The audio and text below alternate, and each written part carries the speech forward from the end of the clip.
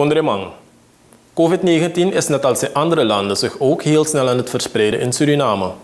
Als wij deze snelle spreiding niet snel stoppen, zullen we de mensen die ziek worden niet meer de zorg kunnen geven die ze nodig hebben.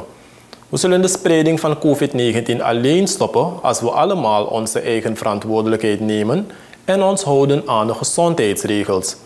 Dus laten we ons allemaal houden aan het volgende. Samenscholingen met meer dan vijf personen zijn verboden. Dit betekent dat er geen publieke en privéactiviteiten gehouden mogen worden waarbij er meer dan vijf personen tegelijk aanwezig zijn. De meeste mensen die besmet zijn hebben het virus opgelopen bij feestjes, religieuze bijeenkomsten of bij begrafenissen. Blijf thuis en isoleer jezelf als je ziekteverschijnselen hebt. Deze zijn onder andere hoest, koorts, keelpijn, benauwdheid, lichaamspijnen, hoofdpijn, diarree, verlies van smaak of reuk.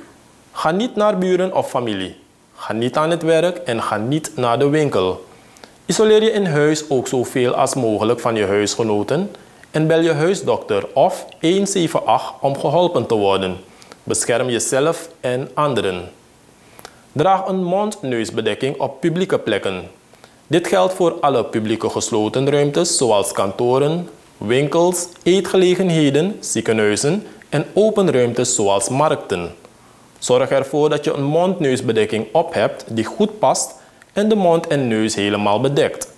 Ben je alleen op de fiets, brom of in de auto, dan hoef je geen mond-neusbedekking te dragen. Hou je aan de COVID-afstand. Dit betekent dat je minimaal 1,5 meter afstand houdt van anderen. COVID-19 verspreidt zich van mens tot mens, onder andere als we praten, niezen, hoesten of zingen. Hoe dichterbij, hoe groter het risico. Was je handen regelmatig met water en zeep of met hand sanitizer met minimaal 60% alcohol.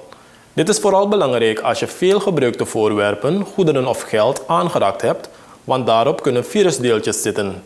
Raak je ogen, neus en mond daarom nooit aan voordat je je handen gereinigd hebt. Houden we ons niet aan deze gezondheidsmaatregelen, dan zullen we helaas strengere maatregelen moeten nemen. Maar als we ons samen houden aan deze gezondheidsmaatregelen, beschermen we elkaar en kunnen we de spreiding van COVID-19 de baas worden. COVID-19 diftang. Dat me kom kibrus revi den trawang.